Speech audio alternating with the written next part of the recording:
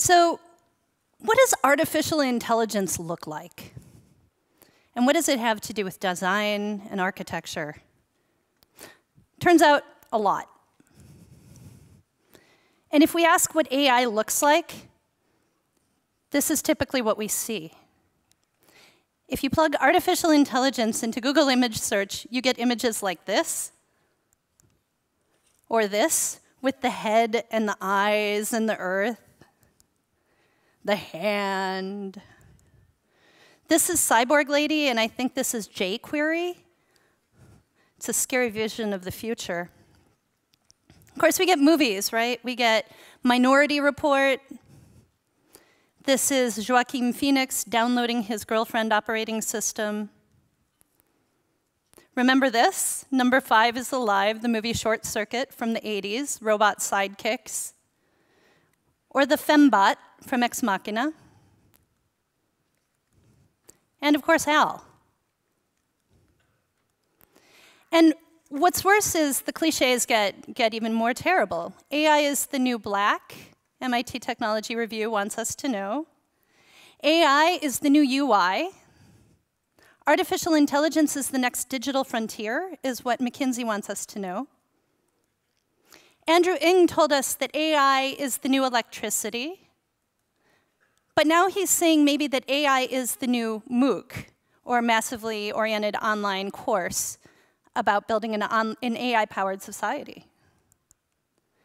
The future of computers is the mind of a toddler or a really creepy disembodied head. Google's AI is a new paradigm that unites humans and machines. And Elon Musk, who tells us that tech moguls are declaring an era of artificial intelligence. And that's all good. But AI isn't the new anything because AI isn't new. So, how new is AI? Well, let's look back to 1955 when John McCarthy coined the term artificial intelligence. And he described it as making machines do things that would require intelligence if done by people. He gathered a group of scientists and um, psychologists and engineers together over a summer in New Hampshire at Dartmouth. And they got together to put in place the platform of research for artificial intelligence. And when he sent out his invitation to his colleagues in 1956, he said every aspect of learning or any feature of intelligence can, in principle, be so precisely described that a machine can be made to simulate it. and actually, these ideas are even older. Um, the, the notion of machine learning was popularized by Arthur Samuel in 1952. And here you see him playing checkers.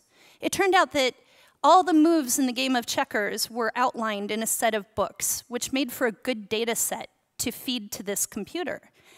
And that's how the notion of machine learning was first born and popularized. And so he said the programming of a digital computer to behave in a way which, if done by human beings or animals, would be described as involving the process of learning. These, these individuals were professors at my university at Carnegie Mellon, Herb Simon, Allen Newell, uh, and J.C. Shaw. And what they said of game playing in artificial intelligence is that intuition, insight, and learning are no longer exclusive possessions of humans. Any large, high-speed computer can be programmed to exhibit them also. They thought they would have the problem solved by about 1961.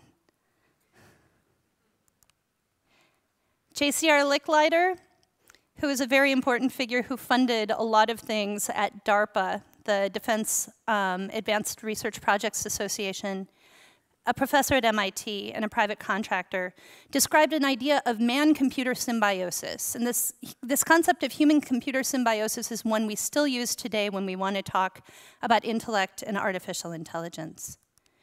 And of course, Marvin Minsky, who said that he believed we were on the threshold of an era that will be dominated, that will be strongly influenced and quite possibly dominated by intelligent problem-solving machines in 1961. Take that, Elon Musk. I want to point out, though, in this process, that AI and design are not strangers.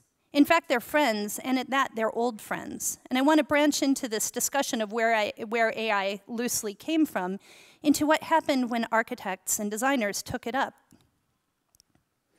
First of all, we could take this person. This is, of course, Douglas Engelbart, and doing this is the mother of all demos in 1968. But if you, and you might, you might also know him, of course, as the person who invented the mouse. This is the first mouse in 1964. It's kind of the Scandinavian model. It's wood, and it's got some nice hand-hewenness to it.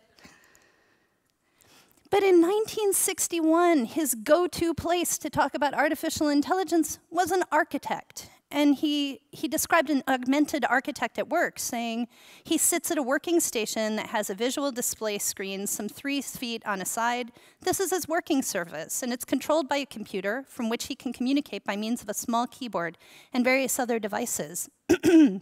in this demo that I showed you very briefly, the mother of all demos, where he showed a hyperlinked online computer system in the 1960s, this is the idea he had in mind, and it's much the, much the same as computer-aided design programs we use today. Why architecture? Because architecture is about building worlds.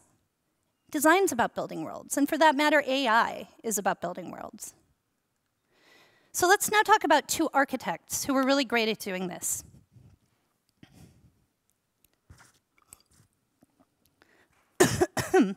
The first is Nicholas Negroponte, who you might know as the founder of the MIT Media Lab. You may not have known that he was an architect, but he is an architect by training.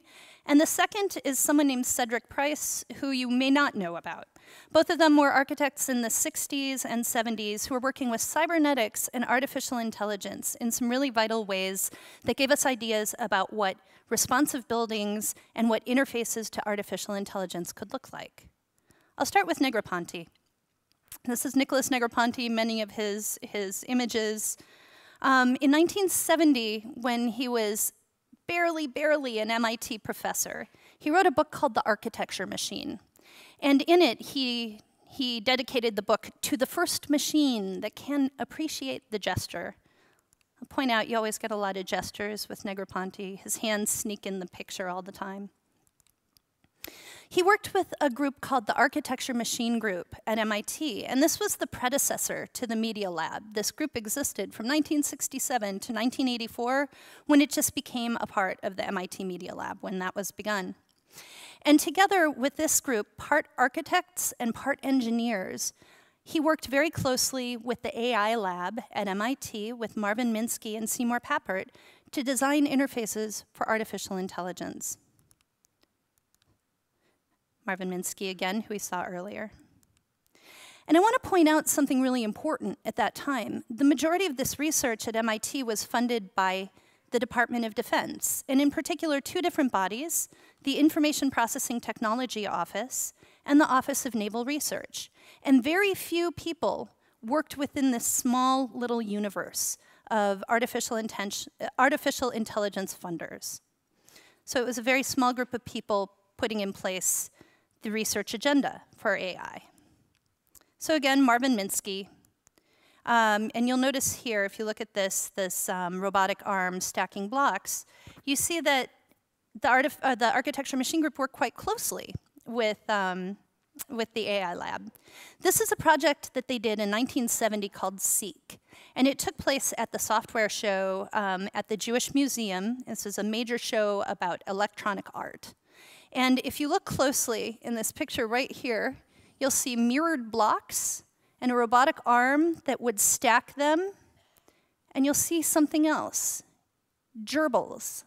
Do you see them? They're right up there, little heads peeking out. And if you look closely, right here it says, gerbils match wits with computer-built environment. You can kind of see more of what's going on on the right. And Seek did what a robotic arm trained to stack blocks would do, which is stack blocks. And the gerbils did what gerbils do, which is move the blocks around, make homes, make a mess. This is from the gatefold of the software catalog, Life in a Computerized Environment. And I want to point out that the software show was a total disaster in many ways, and so was Seek. We might remember what Ted Nelson wrote in that catalog. He said, Our bodies are hardware, our behavior, software. And that was really true for the gerbils because Seek tended to kill them. Later on, the Architecture Machine Group began building immersive environments that were intended for command and control purposes and experiments of remote surveillance. This is a project called Aspen Movie Map, which looks kind of like what you think it does. They took a Jeep, they attached movie cameras to it, and they sent it through the streets of Aspen, Colorado, gathered images, put them on a video disc, as in the big video discs that you put into the video disc player, and then you could zoom down the streets of Aspen, Colorado, sitting in an Eames lounge chair with joysticks. It is that strange. Other things they created, mapping by yourself. This is a Westinghouse window. Um, this is 1977.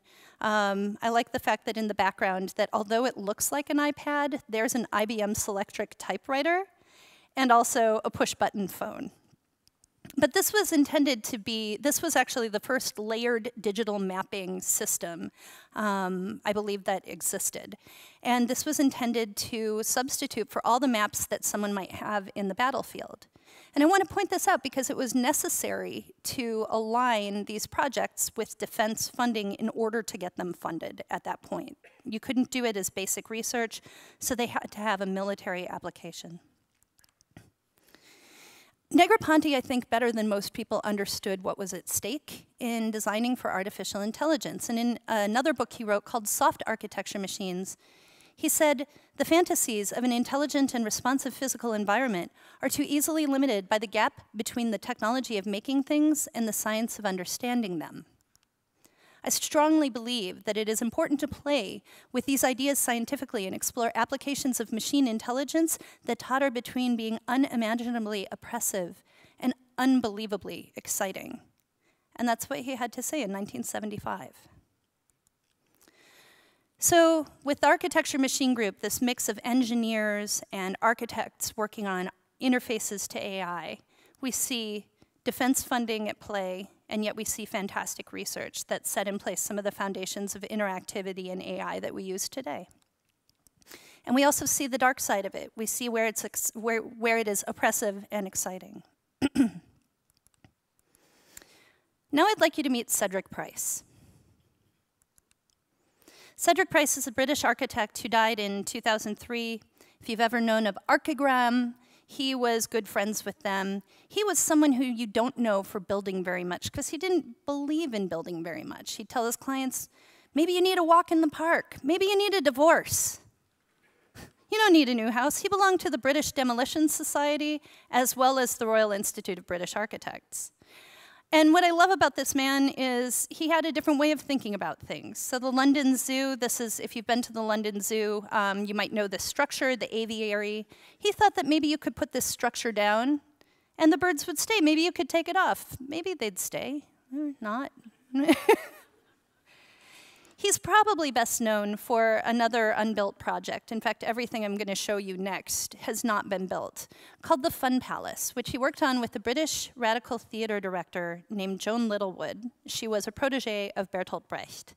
And they wanted to create a movable, um, dynamic learning and fun center, um, parts theater, parts exhibition, part whatever you'd want to do with it. And they called it the Fun Palace. And they also had a large cybernetic committee working with them on the Fun Palace. And if you look closely at this, you'll see right here in the middle input of unmodified people, and then actual network, and then output of modified people.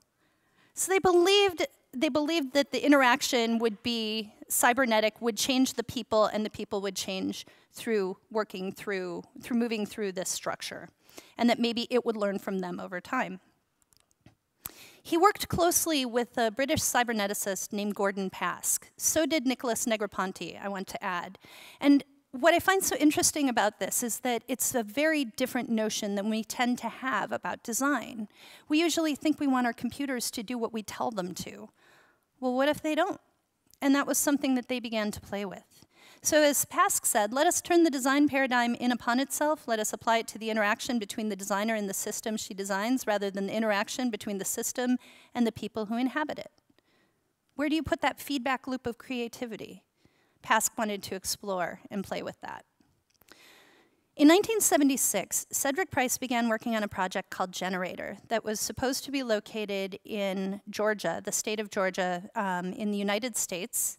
This was an arts retreat center, and it involved a lot of cubes, you know, 12 foot tall cubes, walkways, catwalks, barriers, and you could do whatever you wanted with this, with these cubes in this area. Put them together for whatever purposes you'd like. And he had a way of coming up with menus to imagine how they might be laid out, each of which kind of reads like a story. If you look closely here, you'll see very good, walk around to all the angles. You can imagine that this is supposed to be some kind of exploration.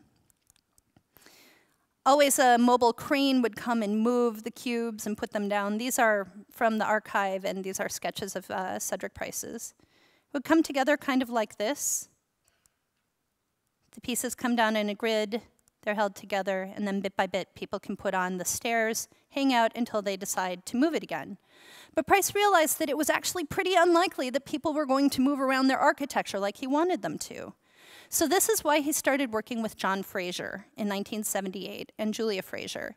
Um, and they came up with a set of computer programs and microcontrollers that were supposed to be a part of Generator. And the idea would be that, as you can see here, this is a plotter. You could design what generator does. The computer would know the rules of what generator could do. But if you didn't move them, if you didn't move the parts, if you didn't redesign it, generator would run a boredom program. It would get bored. And then it would come up with new layouts and hand them off, and generator would move around. And as John Frazer wrote to Cedric Price, if you kick a system, the very least that you would expect it to do is kick you back. And he said in a postscript to a letter he wrote to Cedric Price, You seem to imply that we were only useful if we produced results that you did not expect. I think this leads to some definition of computer aids in general. At least one thing that you would expect from any half decent computer program is that you should, you should produce at least one plan, which you did not expect. This is considered to be the first intelligent building. And one of the things that you see in Cedric Price's work and Negroponte's work is a concept of generativity, that it comes up with things that we didn't start with, right, that are beyond us. And sometimes it kicks you back. Something that he said later um, was designing for delight and pleasure should very seldom seem to be, be seen to happen and must encompass, indeed nurture, doubt, danger, mystery, and magic. And in an age of stranger danger and concern about um, interactions with the world, I like the fact that this might actually open things up a little bit. I want to ask a question, which is how do we know intelligence when we see it? We know that if we look at Google image search, that we get cyborgy looking heads and ladies and apparently jQuery. If you ask Google, AI invents, this is what it fills in. AI invents language, recipes, its own language. Google invents AI. No, it didn't. The future of robot communication, Facebook's AI bots accidentally invent a new language while trying to learn to negotiate with one another, and it was shut down because it was, it was viewed as too dangerous. We didn't have insight into the black box. This AI learned to predict the future by watching loads of TV. They could figure out when someone was going to hug, kiss, or high five with 40%, uh, 40% accuracy, 43%. It's a lot of Scrubs, Ugly Betty, and Big Bang Theory to produce that knowledge. Maybe you know Janelle Shane's work. Um, she's my favorite person who plays with neural nets for fun. She fed a paint. Uh, she fed a neural net a number of names of paints and paint formulas.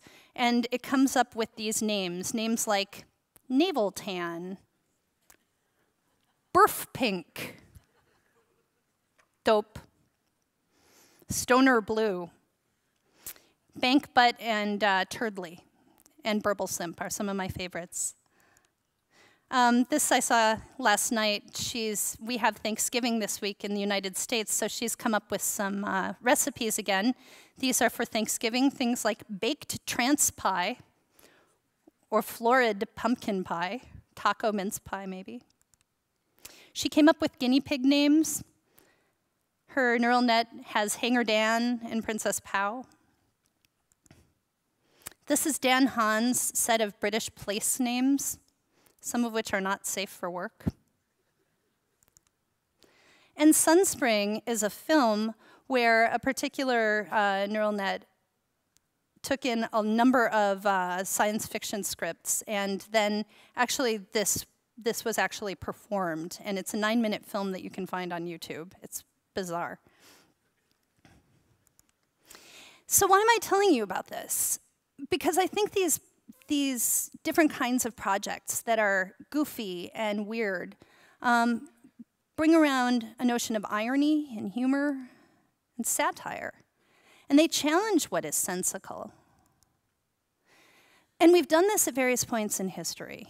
So Marcel Duchamp, of course, famously delivered this urinal to the art show in 1917 in Paris. And this was his entry, his as-found urinal, the pissoir. And you can look at something like Eugene Ionesco, and the play Rhinoceros, first performed in 1959, in which a town in France, bit by bit, has all of its residents turn into rhinoceroses. And it's, it's a protest against totalitarianism. This was the continual, absurdism was a, a pushback against totalitarianism. And even in the 1970s, we see surrealism alive and well in The Discreet Charm of the Bourgeoisie, a film by Luis uh, Buñuel. And I think these are important because of the ways they play with uncanniness. And we, of course, know about the idea of the uncanny valley that Masahiro Mori wrote about in 1970, the eeriness we feel when robots are too similar to us. And what Mori wrote in 1970 in an article in Energy magazine in Japan is we should begin to build an accurate map of the uncanny valley so that through robotics research, we can come to understand what makes us human. I think this notion of understanding what makes us human is vital, especially because of disembodied baby heads. So let me ask this, what can design then do for AI? Apparently you can get your own uh, AI, so-called AI uh, brand made. You can get a logo made. It's not very good. Um, or you could have something like me, apparently, the AI version of your new web designer. And um, this massively offensive ad says, she's quirky but will never ghost you. Never charge more, never miss a deadline, never cower to your demands for a bigger logo. So sure, AI and design can do these things. But I'd like to suggest something else. I think that design brings to AI a new way of reframing the question and rethinking our relationships to technology.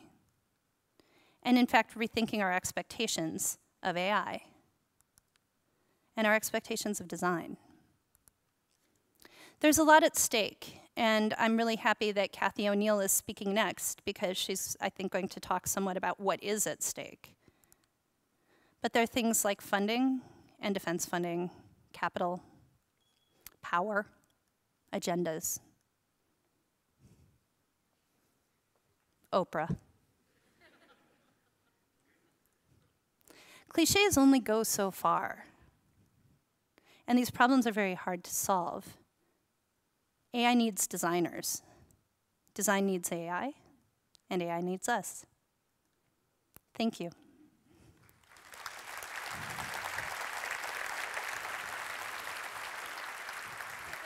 if you stay up here, I'll have a few questions oh, for you. Thank you so much, Molly. Um, I have a couple of questions after seeing your talk. First of all, um, it looks like we've done everything before. So you showed us the uh, iPad from the 60s and uh, the iPad from the iPad from the from now.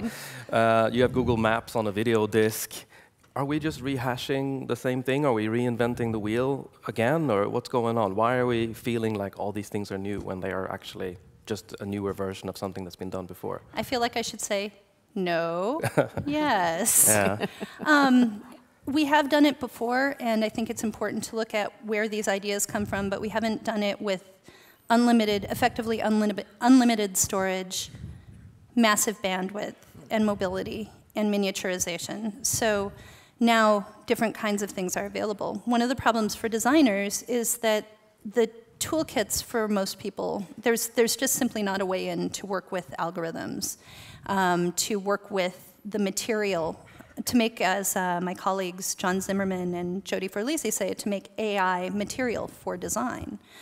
But I want to argue that designers and architects do more than window dressing and, and pretty making. We actually frame questions for people.